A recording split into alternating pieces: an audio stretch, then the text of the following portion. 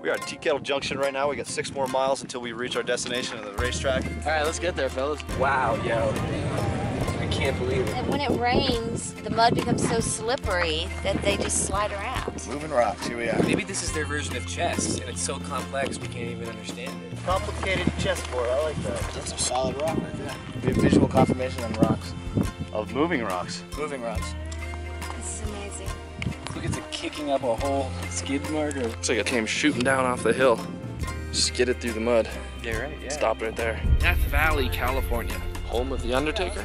And we will be doing some time-lapse photography here. Time lapse just takes one picture over certain durations of time that are then combined together to create a sort of accelerated video image. So I think the trick will probably be a great one to start from sunrise, like the beyond black. Like that'd be like the dawn of the day. It's enough to get 10 seconds worth.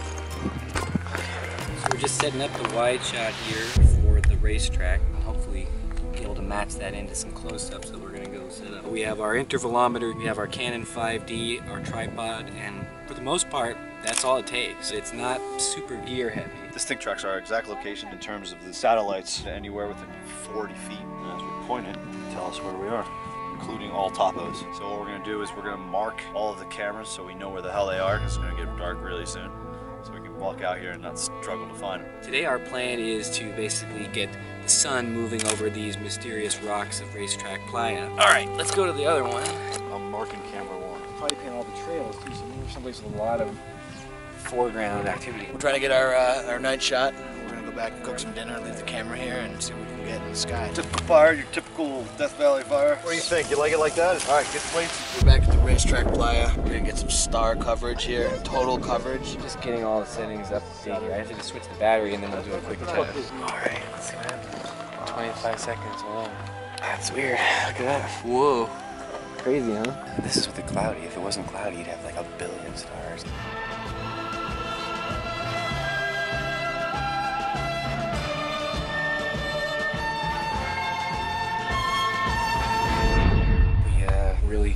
Pretty crazy on the racetrack last night. Got a nice Milky Way at the very end, very last moment.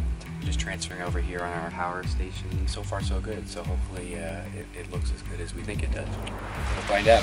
Wow, I've never seen anything like it. This is amazing. Just reviewing some of the night footage stuff really quickly Yeah, here, and it looks uh, strangely like an aurora. I, this, I've only seen them in Alaska. I've only seen them up north, but John seems to think that they can happen here. It's not a cloud though either, because it's just it's Where- it's the it's, it's like down? pulsing like a like this an way? aurora. It was right right there. So that's where the moon was going down, right? No, moon was over there. The moon was way over there. there. So I don't know. We're so we're still just at the very beginning of inspecting the footage, and hopefully well, there'll be some more on there. It's gonna look awesome, whatever it is. That was awesome. Yeah, we definitely claimed it. Gavin, did you think we got the shots? I think so.